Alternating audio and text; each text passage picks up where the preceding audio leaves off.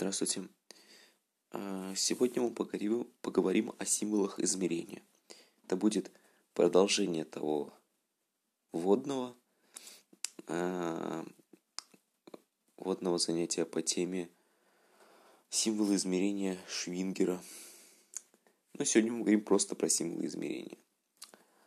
А, вот пусть у нас есть набор S физических систем – мы его будем подавать на вход некого классического измерительного прибора. Ну, давайте нарисуем картинку. Вот у нас есть коробка. А, это классический измерительный прибор. И есть экспериментатор задает набор классических параметров P. Вот еще нарисуем здесь кнопку. Это означает, что экспериментатор может в любой момент, когда ему вздумается нажать кнопку и провести эксперимент. Итак, на вход, как я уже сказал, э, подали набор S физических систем.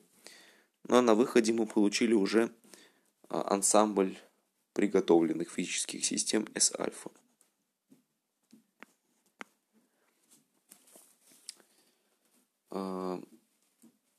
Что же такое символом измерения?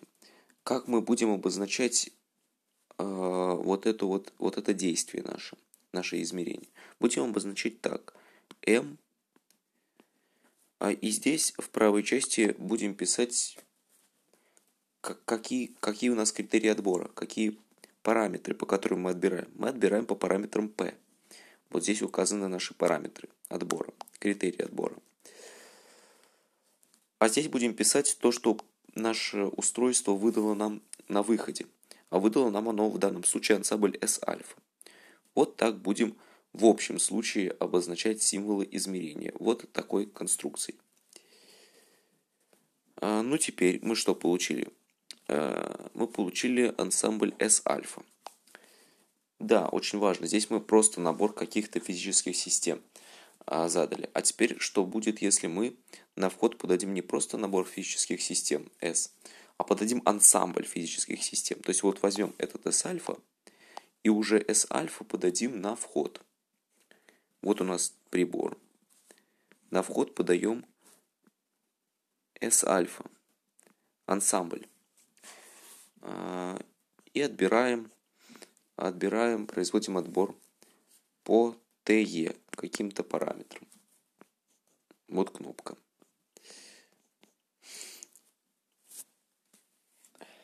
Ну да, понятно, что на выходе мы получим уже какой-то другой ансамбль.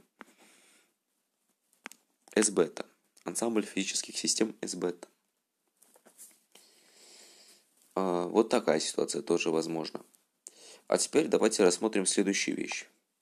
Я сначала возьму э, и поставлю одну коробку, один измерительный прибор – в нем будет производиться отбор а, по ТЕ бета.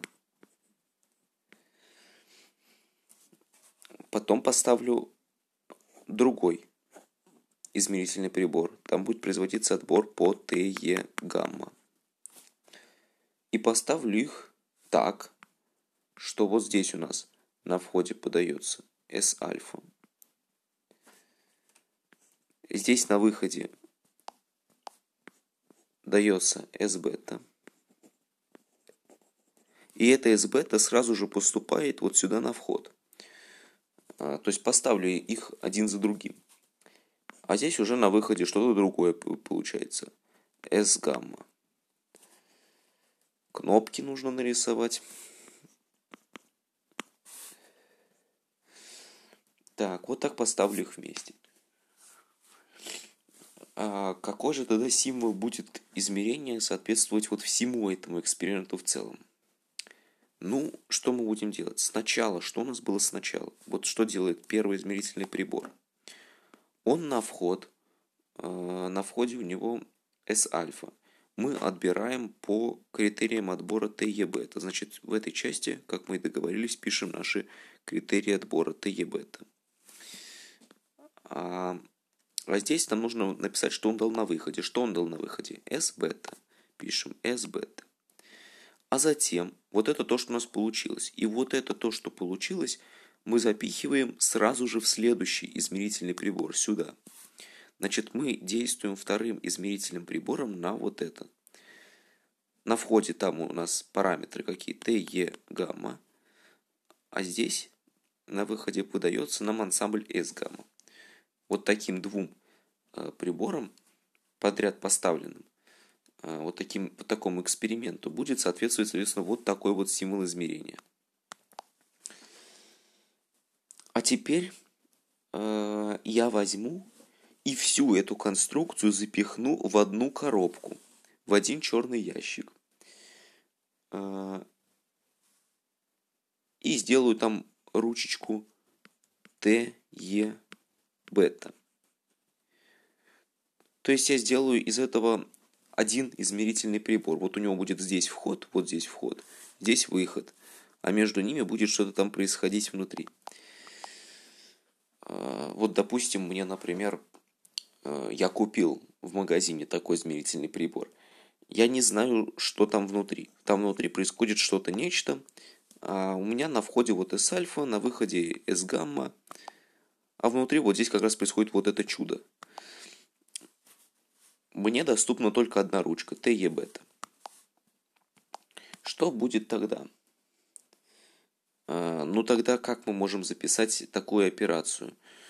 А, мы можем записать ее так, если у меня это все общий измерительный прибор. На выходе получается у нас S-гамма, пишем S-гамма, а параметром у меня служит TE бета. Вот записываем, как и договаривались. Вот так, таким обозначением. Понятно, что я по сути провожу тот же самый эксперимент. Эм, значит, вот это у меня пропорционально вот этому, вот этой величине. Очевидно, что э, вот такой символ измерения, равный произведению двух, пропорционален у меня моему одному записанному символу измерения, когда я все запихну в черный ящик. Чему же равен коэффициент пропорциональности? Чему он равен? Это должен быть какой-то символ, который характеризует а, статистическую связь между тем, какой ансамбль выдается на выходе первого прибора а, и как в этом ансамбле происходит отбор согласно вот этим критериям. А, ТЕ гамма. А, вот и назовем эту связь статистическую некоторым элементом. А, потом уже будем изучать свойства его. То есть запишем, что вот это наше произведение символов m s гамма e гамма на m s бета t e бета будет пропорционально m, как мы уже сказали, s гамма t e бета. Коэффициенты пропорциональности обозначим так. А, t e гамма s бета. t e гамма s бета. Вот t e гамма у нас это вот эти параметры, по которым мы отбираем во втором приборе. А из бета это то, что мы получаем на выходе первого прибора, то, что поступает на вход второго. Вот будем обозначать так. Пока что будем рассматривать это как один целостный символ, даже несмотря на то, что он очень сильно похож на скалярное произведение, и это не случайно. А вот это будем называть, вот это будем называть законом перемножения, э, точнее законом умножения символов измерений. Вот мы перемножили, получили вот такую конструкцию. Теперь определим нулевой символ измерения. Нулевой символ измерения обозначается вот так вот. m с индексом нолик. Что этот символ измерения описывает?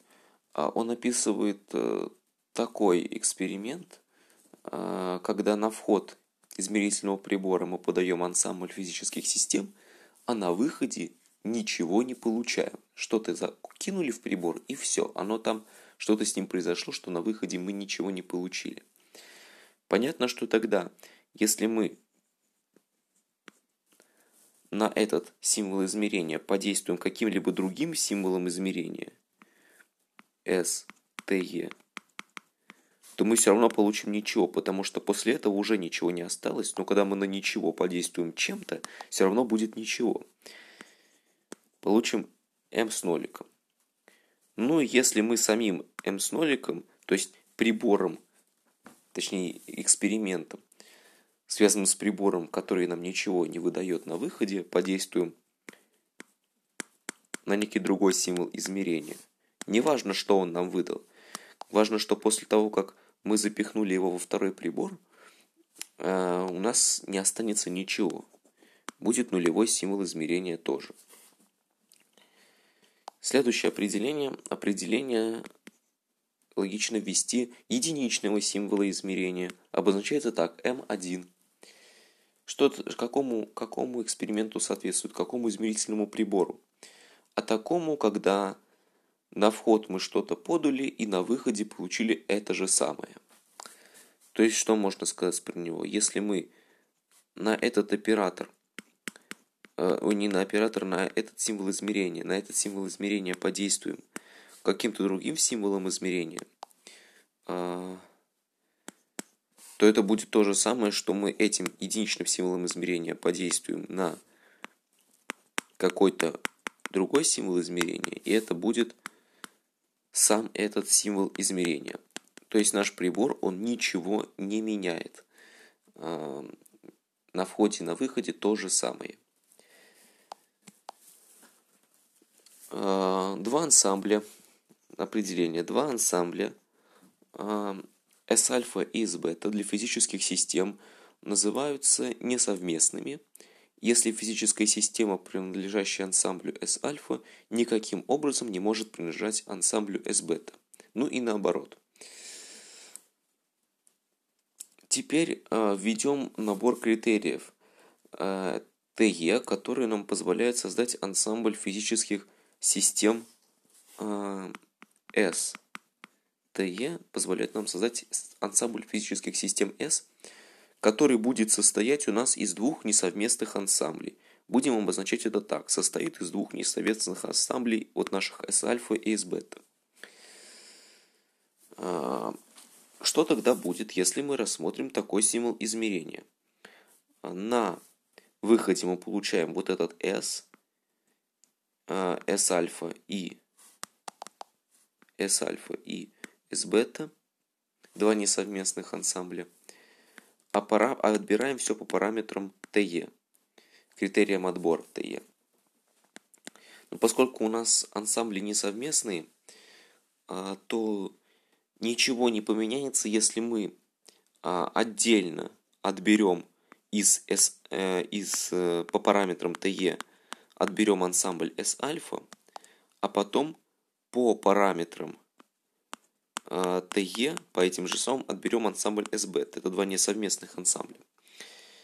А, что же, какую же операцию между этими нужно поставить? Но поскольку а, мы отбираем отдельно, потом все это смешиваем, то логично поставить здесь с операцию сложения.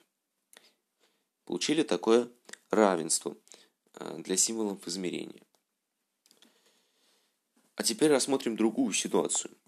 А теперь рассмотрим ситуацию, когда вот у нас есть измерительный прибор, некоторый.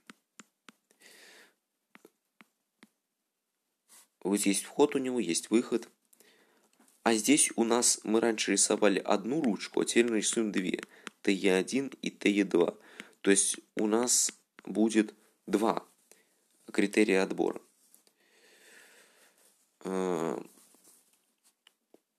Но тогда общий набор критериев отбора это будет первый критерий отбора и второй критерий отбора. Что тогда будет, если мы рассмотрим такой символ измерения? На выходе получим некоторый а, набор S физических систем, а на входе у нас есть а, два критерия отбора –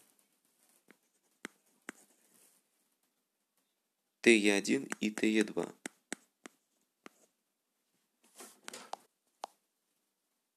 Итак, рассмотрим такой символ измерения. Ну, опять же, при условии, что у нас TE1 и TE2 а, это такие критерии отбора, что мы отбираем либо по одному, либо по другому. Мы не можем одновременно по двум отбирать. Так вот, при таком условии, что будет, если мы э, рассмотрим такой символ измерения?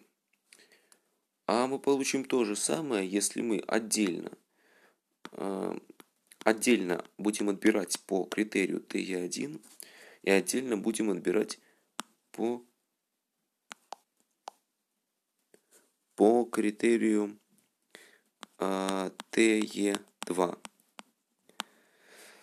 А потом мы все это смешаем и получим то, что получим на выходе. Э, получим общий, общую э, запись символа измерения, которая соответствует этому эксперименту.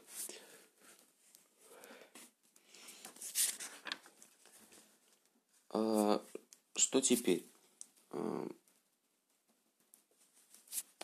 Ну, давайте рассмотрим пример. Что же такое несовместный критерий отбора? Вот пусть есть наблюдаемое А, и у нее есть спектр у наблюдаемого А. Э, мы можем отбирать все системы, в которых наблюдаемое А принимает значение А1. А можем отбирать все системы, в которых наблюдаемое А может э, принимать на которых наблюдаемое А принимает значение А2. И одновременно наблюдаемое А не может принимать значение А1 и А2. Это пример, пример двух несовместных критериев отбора. ТЕ1 получается значение А1, и ТЕ2 получается значение А2. Это условная, условная запись, конечно же, так лучше на самом деле не писать. И пример двух, э, двух ансамблей несовместных. Вот пусть после выхода из измерительного прибора есть ансамбль, в котором, в котором ансамбль S-альфа, в котором наблюдаемое А имеет значение А2. И пусть есть а, ансамбль S-бета, котором наблюдаемое А имеет значение А46. Тогда можно смешать эти два ансамбля и получить общий ансамбль. Но там, где физические системы обладают значением А2, ни одна физическая система не может иметь значение наблюдаемое А46. Вот такие два ансамбля, вот эти два ансамбля, несовместные. Теперь мы введем симметричный символ измерения Швингера. Будем его так. М, АИ, АИТ. Мы будем отбирать по значению А равному АИТому. И а, на выходе прибора, из прибора выйдет значение тоже АИТ. А теперь будем отбирать по значению А равному АИТому а на выходе измерительного прибора э, получать значение ажитое, которое не равно аитому. Разные значения. Вот такой символ измерения будет называться несимметричным символом измерения Швингера. И возможно еще одна ситуация. А, когда наблюдаемое А имеет значение аиты, а из прибора выходит наблюдаемое Б, который имеет значение b житые. Совсем другое. А, возможно и такая ситуация. Теперь э, поговорим немного о несовместных символах измерения еще. Пусть у нас есть два критерия отбора TE1 и TE2. TE1 и TE2 с помощью которых отбирается ансамбль физических систем S-альфа с помощью одного из них, то есть с помощью этого отбирается S-альфа, а с помощью другого отбирается ансамбль S-бета. И S-альфа и S-бета не совместные. тогда рассмотрим вот такую ситуацию. Рассмотрим символ измерения, где на выходе будет два несовместных ансамбля S-альфа и S-бета, а на входе будет два несовместных, не, не на входе, а мы будем отбирать по двум несовместным критериям отбора. TE1 и TE2. А,